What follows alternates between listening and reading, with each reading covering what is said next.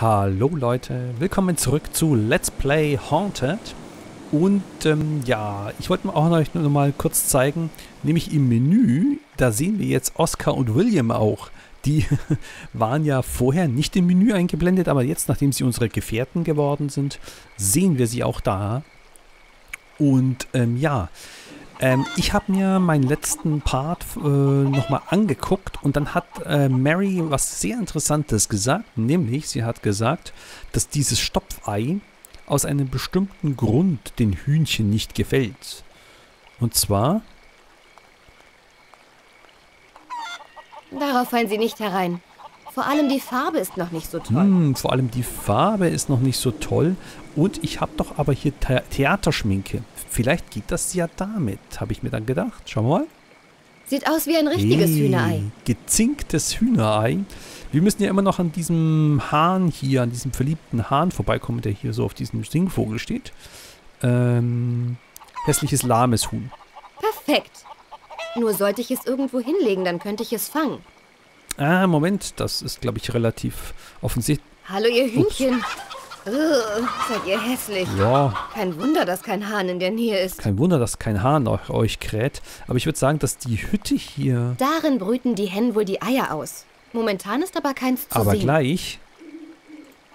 Put, put. Schaut mal, was Tante Mary hier für euch hat. Tante Mary? Das Huhn sieht tatsächlich nach dem Ei... Da bin ich auch sehr überrascht, ja. Äh, Huhn in der Hühnerfalle. Ha, habe ich dich. Ha, hallo Hühnchen. Hässliches Huhn mit Muttergefühlen. so, und dir kann ich doch jetzt bestimmt den Federschmuck aufsetzen, oder? Jetzt sieht es doch prächtig aus. So, und wenn ich dich jetzt mit dem Hahn kombiniere? Mit dem nymphomanischen Hahn, Verzeihung. So, du Biest, dann schau mal, was ich hier Hübsches für dich habe. Ah. Sehr gut, Mary. Ich gehe mal vor. Bin gespannt, was uns erwartet. Ich allerdings auch, Oscar. So, wir haben ja noch ein paar Sachen. Okay. Ich weiß jetzt zwar nicht, ob ich hier eine formanische Hahn, kann ich... Ein ausgesprochen hübscher Vogel. Er scheint dem Hahn den Kopf verdreht zu haben. Tja, aber wir haben das Ganze jetzt beendet, diese Romanze. So, Mary aufs Dach mit uns. Wir steigen hier aufs Dach. Da ist ein unnützes Huhn. Da ist auch noch ein unnützes Huhn. So, können wir denn jetzt hier zum Fenster einsteigen? Das können wir. Ein Moment noch. Dieses alte Spielzeug lasse ich lieber hier. Welches alte Spielzeug? Oh, ein gemütlicher Ort.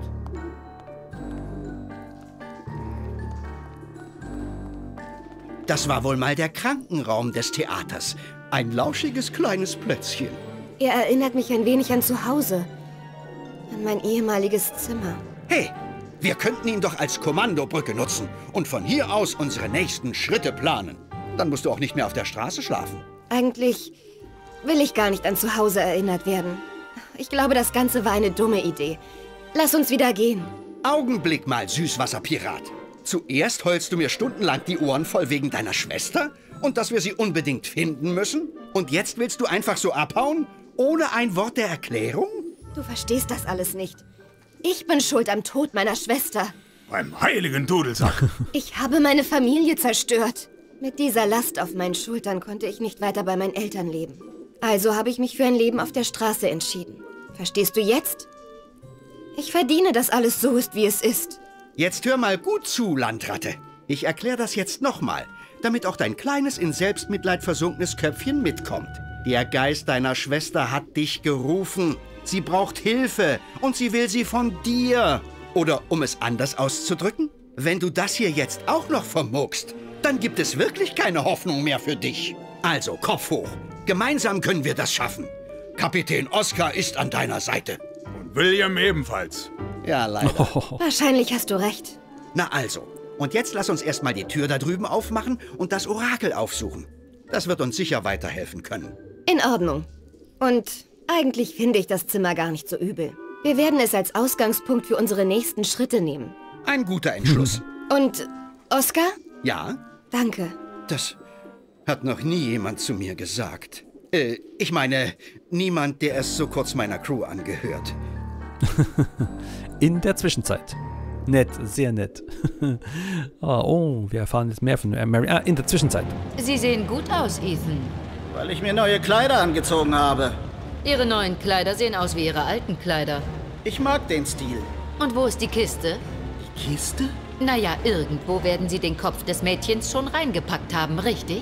Also, ich war diesem Mädchen auf der Spur. Bloß auf der Spur? Professor, glauben Sie mir, sie war allein. Und sie saß bereits in der Falle. Und sie ist trotzdem entwischt? also auf einmal, da hat etwas meine Axt gepackt. Aber ich konnte nicht sehen. Und ich wurde in die Luft geschleudert. Und das hat Ihnen so viel Angst gemacht, dass Sie die Kleidung wechseln mussten. Wie eklig. So ganz war das nicht. Sie sind wirklich für gar nichts zu gebrauchen, Ethan. Was schlussfolgern Sie aus dieser Begegnung? Schlussfolgern? Naja, ich weiß nicht recht, was Sie meinen. Ethan, wenn man eine Stubenfliege mit einem Tischbein kreuzen würde, hätte das bemitleidenswerte Resultat noch mehr Vorstellungskraft als Sie. Wonach suchen wir denn die ganze Zeit? Na, Geister. Sie meinen, ein Geist hat mich? ist der Penny endlich gefallen? Ich sagte doch, dass Sie mir früher oder später glauben würden. Bleiben Sie an dem Mädchen dran. Es scheint Geister geradezu anzuziehen. Ich brauche die Energie dieser Geister, bevor es für mich zu spät ist. Ich bin so kurz davor, das Rätsel der Seelenübertragung zu lösen. Aber ich brauche mehr Tests, mehr Energie. Liefern Sie mir diese Energie, Ethan. Verfolgen Sie das Mädchen weiter und finden Sie heraus, ob es noch andere Quellen gibt, wo wir unsere Schnapper mit Geistern füllen können. Natürlich, Professor Ashcroft. Oha, oha, die Ashcroft plant was Großes. Ah, okay. Ich kann mich bewegen. Gut, ähm, ich habe hier mein ganzes Inventar draußen gelassen. Okay, dann würde ich mal sagen, äh, als erstes unterhalten wir uns mal mit unseren Kollegen hier. Äh, und mit dem lieben Oscar mal als erstes. Komplizierte Lage. Wieso? Wir müssen nur irgendwie runter zur Bühne und nach dem Orakel suchen. Ja, aber wie? Warum nochmal nehmen wir nicht die Tür? Ach komm, so einfach kann es doch nicht sein, oder? Schwert eines Schwertschluckers. Sieht schön aus. Ist aber nur eine Requisite. Scharf ist es Ach, zum nicht. Glück. Äh, William. Ich finde es hier ganz gemütlich. Bist du schon weitergekommen? Ich arbeite daran. Ja, das so böse hat's der William ja nicht gemeint. Moment, halt, was war da? Feder äh, des Sofas. Jetzt kann man sich wieder gefahrlos hinsetzen. Okay, will sie aber erstmal nicht. Gut, hier weiter nach vorne geht's nicht. Dann haben wir jetzt hier, oh, eine Kurbel. Oha. Was ist das? Ich glaube, ich habe ihn aufgeladen. Was auch immer er ist, geladener Defibrillator. Oh, Das Gerät ist immer noch aufgeladen. okay. Volle Bettpfanne. Äh, achso, durch Regenwasser volle Bettpfanne. Gut. Puh. Äh, hallo? Mary? Was da wohl für eine Flüssigkeit drin ist? Aber ich kann sie nicht äh, nehmen, okay. Schranktür, das sieht aber nach einem sehr geisterhaften Schrank aus, oder ist es nur Glas hier? Schranktür. Aha. Schublade. Schublade. Äh, übermäßig große Spritze. Scheint wirklich so eine Art Wo die wohl eigentlich benutzt wird? Muss man ja nicht alles wissen. Ja, es ist, scheint wirklich eine Art Krankenzimmer zu sein. Ich wollte schon sagen Krankenstation. so, hier ist aber sonst nichts mehr. Oder? Nee. Was haben wir hier? Über... hm. Die Puppe ist umgefallen. Übungswerkzeug für Schwertschlucker-Anfänger. Kann denn... Das wurde nicht von der Hand des Todes berührt. Und deshalb kann es auch meine nicht berühren. Schade. Ich wollte da mal ein bisschen üben. So, was haben wir denn sonst noch? Hier oben ist der Himmel. Um, unkomfortable Dachluke. Keine gute Sache, wenn man an das Wetter in London denkt. Ja, wohl wahr. Wohl wahr. Extrem unauffälliger Türspalt. Extrem unauffälliger Türspalt. Aha. So, ich kann hier auch wieder raus. Wusste ich's doch. Die Tür ist natürlich verschlossen. Natürlich. Mal sehen, ob ich etwas durch das Schlüsselloch erkennen kann. Da ist ein Schlüssel. Aber natürlich, der Schlüssel steckt von der anderen Seite. Ja, ja, ja, der alte Trick mit äh, durchstoßen und dann von unten äh, rausziehen wäre doch jetzt ganz cool. Also irgendwas Rutschiges unten durch. Habe ich denn da nicht irgendwas? Defibrillator. Was kann ich mit dir machen, Defibrillator? Das Gerät ist immer noch aufgeladen. Nochmal kurz gucken. Übungswerte für Schwertschlucker Anfänger. Hm. Also ich habe mal hier, Moment mal. Das ist der Schlüssel. Ausgang zur Bühne. Machen wir mal so. So komme ich nicht weiter. Machen wir mal den unauffälligen, äh, Entschuldigung, den extrem unauffälligen Spalt. Türspalt. Das ist ja ein mächtiger Spalt unter der Tür. Ja, also das heißt, vielleicht brauche ich da ja gar nichts. Ah, mit der Spritze. Vielleicht brauche ich da gar nichts zum unten durchschieben. Vielleicht geht das auch direkt mit der Hand dann. Da fehlt wohl noch etwas. Hm. Aber sie sagt nicht, dass es Unsinn ist. Hier hilft mir die Feder nicht weiter. Das Schwert? Ich brauche etwas Schmaleres. Gute Idee. Der Schlüssel ist aber zu weit weg für das Schwert. Ich muss einen anderen Weg finden, um ihn durch den Türspalt zu bekommen. William, Ich finde es hier ganz so. gemütlich. Bist du schon bei? Ich auch. ich arbeite dran, William. Kann ich den William mit dem Türspalt? Das wurde nicht von der Hand des Todes Stimmt. berührt. Und deshalb kann es auch meine nicht berühren. Also, ich habe jetzt gerade gedacht, dass der William vielleicht, weil er durchlässig ist, durch die Tür durch kann. Das kann er bestimmt, aber er kann dann nichts anfassen. Äh. Kann der William, das kann er auch nicht. Kann der Oscar das machen? Hier? Ah, Oscar kann da was machen. Irgendwie scheint nichts Besonderes mit mir zu passieren. Ach nö. Oder auch doch nicht. Oder, oder auch doch nicht. Ich bin ein Pirat mit besonderen Fähigkeiten. Ich mache nicht jeden Unsinn mit. Ja, aber der Oscar soll mit dem hier was tun. Ähm, geladener Defibrillator. Ich versuche mal hier irgendwie was mit dem Defibrillator zu benutzen. Hier hilft mir die Feder nicht weiter. Ja, das Schwert. Ich sollte vorsichtig mit dem Schwert ja, sein. die Spritze ist für die Tür, aber dennoch. Mit dieser alten, übergroßen Spritze kann man zwar einen schönen Strahl erzeugen, aber der hilft mir hier nicht. Ach, Moment. Kann ich denn die Spritze aufladen hier? Ah. Nun ist die Spritze voll mit äh, Wasser? Ich möchte nicht genauer darüber Und nachdenken. muss ich jetzt die gefüllte Spritze durch das Schlüsselloch durchpusten? Tatsächlich. Flatsch. Hey, ich habe den Schlüssel aus dem Schloss geschossen. Nur, wie komme ich jetzt dran? So, könnte das Schwert mir jetzt helfen? Gute Idee. Ah. Der Schlüssel ist aber zu weit weg für das Schwert. Ich muss einen anderen Weg finden, um ihn durch den Türspalt zu bekommen. Kann ich Schwert und Feder... Passt. Ich habe eine Spule gebaut. Eine Spule. Und die muss ich jetzt wahrscheinlich elektromagnetisch aufladen und dann den, äh, den Schlüssel mit dem Magneten ranziehen. Sehe ich das richtig? Schon nicht schlecht, aber ich sollte die Spule erst an einer geeigneten Stelle platzieren und dann schauen, wie ich sie unter Strom setzen kann. Eine geeignete Stelle. Kurbel. Das Gerät ist immer noch aufgeladen. Die Spule sollte ich so platzieren, dass sie mir irgendwie mit dem Schlüssel hilft. Ja, aber ich habe ja dann nix.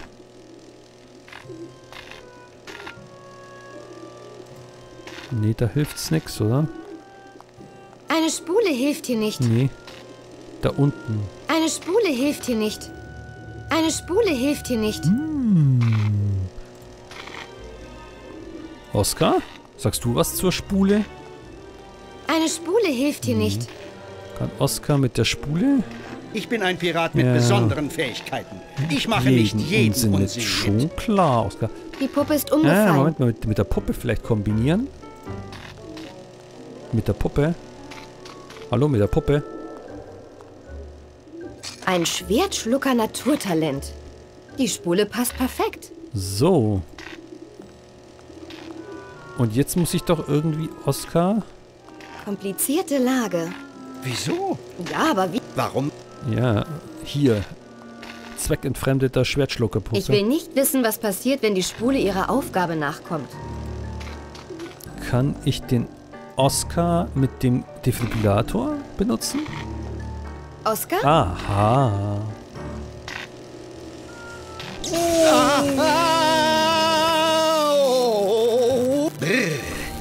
Das ist aber nichts für Leichtmatrosen.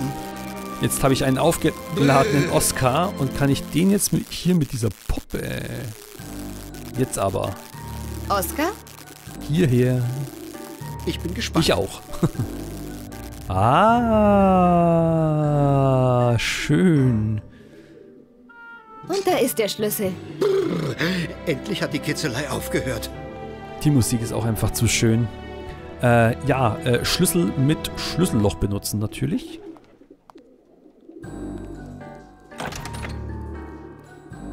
Aha. Gehen wir durch. Gang zum Innenraum. Dun, dun, dun, dun, dun. Coole Musik. Hinter diesem riesigen eisernen Vorhang ist die Bühne. Das Orakel. Dahinter hat's eine Menge Leute erwischt. Ich könnte den Vorhang mit Leichtigkeit hochheben. Mach dich lieber nützlich, Riesenbaby. Okay, dahinter hat es eine Menge Leute erwischt. Verstehe. Hebel. Hier sind ein Haufen Hebel. Haben wir sonst noch was? Das ist William. Oscar. Beweglicher Scheinwerfer. Was kann ich denn mit dem beweglichen Scheinwerfer machen?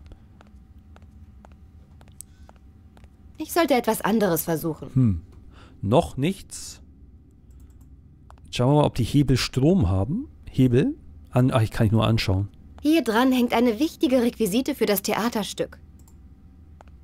Hier dran hängt eine wichtige Requisite für das Theaterstück. Okay. Hier dran hängt eine wichtige Requisite für das Theaterstück. Kann ich. Das wurde nicht von der Hand des Todes berührt. Und deshalb kann's auch meine nicht berühren. Okay. Oh, halt, da ist noch was, oder? Das ist nur. Ach, hier kann ich rüberlaufen, oder? Aha. Haben wir hier irgendwas? Ich mache mal die, die Hotspot-Anzeige. Oha, Kronleuchter. Er hängt genau über der Mitte der Brücke. Aber er ist unerreichbar für mich. Hm. Er hängt genau über der Mitte der Brücke. Aber er ist unerreichbar für mich. Ich gehe auch nochmal zurück und benutze die Hotspot-Anzeige. Der Scheinwerfer, was könnte denn... Den muss ich irgendwie anmachen, oder? Wahrscheinlich. Ich sollte etwas anderes Hm. versuchen. Oskar, reden wir mal mit dir so direkt von Freundin zu Freund. Hinter diesem riesigen eisernen Vorhang ist die Bühne. William, was meinst du? Bist du schon weitergekommen? Ach, William. Wenn's doch nur so einfach wäre. Dann gehen wir mal rüber. Da habe ich gerade vorhin noch eine Tür gesehen. Lauf, Mary, lauf. Noch ein Scheinwerfer. Ach, da geht's noch weiter. Halt, halt, halt, halt. Geht's da runter? Sch Schutthaufen? Hier scheint eine Menge Dreck heruntergekommen zu sein, als das Theater eingestürzt ist. Hm. Hier scheint eine Menge Dreck heruntergekommen zu sein, als das Theater eingestürzt ist. Ah, okay, hier geht's nicht weiter, Mary. Okay, dann versuche ich mal hier da irgendwie durch die Tür. Ah, Treppen zur Bühne. Oha. Das war mal aber eine Reise. Aufgang zum Balkon. Ja, gut. Ist das hier der eiserne Vorhang? Ah ja, eiserner Vorhang, da steht's. Anschauen. Wow. Schau. Oh je. Es sieht so aus, als hätte der Vorhang einige Schauspieler unter sich zermahlen. Ja, das ist das, was der William wohl gemeint hat mit, äh, hier hat's einige erwischt und er könnte das locker hochheben. Das werden wir ihn dann auch mal versuchen lassen. Okay, aber mehr kann man jetzt hier nicht machen. Das ist wohl der, Or der Rest vom Orchestergraben. Gut, Leute, dann würde ich aber sagen, wir versuchen den... Oh, hier sieht man einen Spalt. Und hier leuchtet's. Aha, aber kann man nicht durchschauen. Oh je. Ja, ja. Es sieht so aus, als hätte der Vorhang einige Schauspieler unter sich zermahlen. Gut, Leute, dann versuchen wir aber diesen eisernen Vorhang im nächsten Part von Let's Play Haunted äh, zu lüften. Also, bis zum nächsten Mal. Ciao.